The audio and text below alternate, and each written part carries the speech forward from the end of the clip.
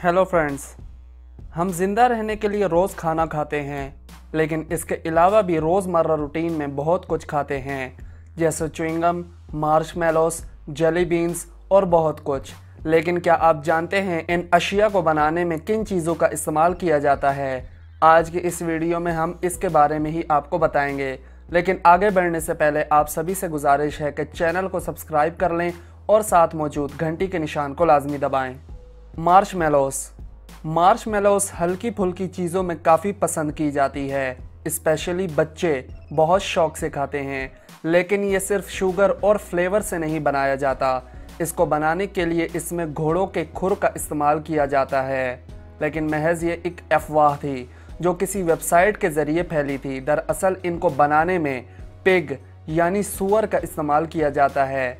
Sorry लेकिन ये हकीकत है मेलो को बनाने में अहम किरदार जेलेटिन का है, जिसे सुअर की स्किन स्नाउट और सुअर की चर्बी से बनाया जाता है।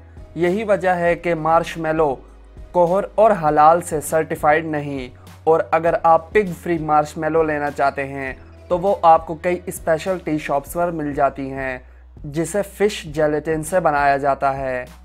जेली बीन्स जेली बीन्स हमारी one of favourite sweet street up हो सकती है, अभी तक, लेकिन शायद, इसकी हकीकत जानकर आप इसे खाना छोड़ दें। अगर आपको इन रंगीन जेली बीन्स को चबा चबा कर खाने में मज़ा आता है तो इसका मतलब है कि आपको कीड़ों को खाने में भी दिलचस्पी है।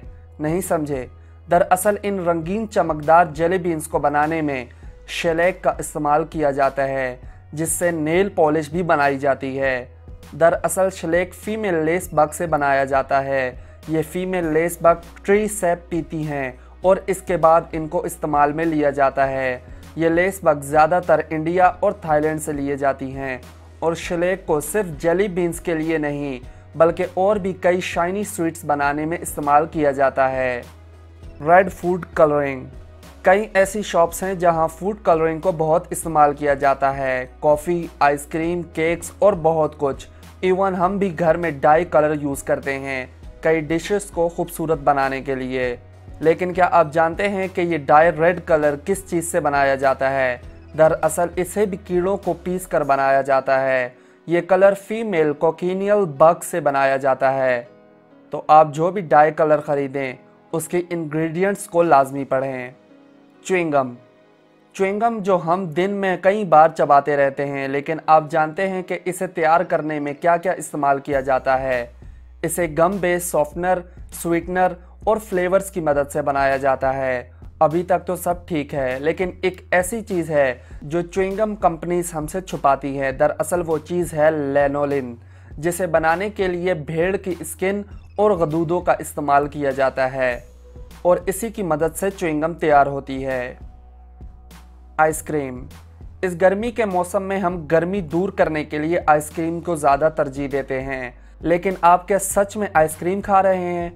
अगर आप वनीला आइसक्रीम खाते हैं तो सॉरी, क्योंकि अब जो मैं बताने वाला हूँ, वो वनीला फ्लेवर में इस्तेमाल होता है और वो है कैस्टोरियम, जो एक बीवर नामी जानवर जो चूहे नुमा दिखता है। इससे हासिल किया जाता है। इसमें इस जानवर की हर तरह की गलाजत का इस्तेमाल किया जाता है। But secretion anal gland castor gland castoreum जिसे जानवर पेशाब वाली जगह से खारिज करता है और इसे आइसक्रीम के अलावा अब परफ्यूम में भी इस्तेमाल किया जा रहा है। दोस्तों, आज की इस वीडियो में इतना ही। अगर वीडियो पसंद आई हो तो इसे लाइक करें और लोगों से शेयर करें, ताकि वो भी इन चीज़ों के बारे में जान सकें और चैनल को सब्सक्राइब करके घंटी को लाजमी दबाएँ।